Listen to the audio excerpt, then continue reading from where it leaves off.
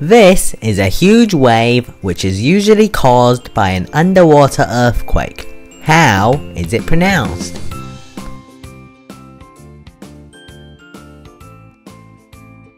It is pronounced tsunami.